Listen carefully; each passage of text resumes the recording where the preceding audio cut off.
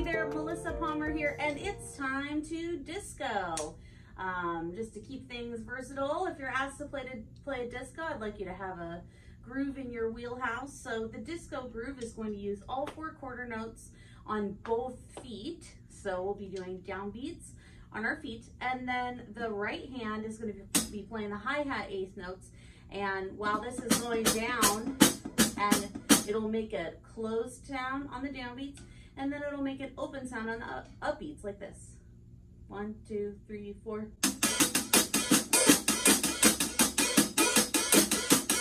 And so on. And then we'll play the backbeat with our left hand on the snare drum.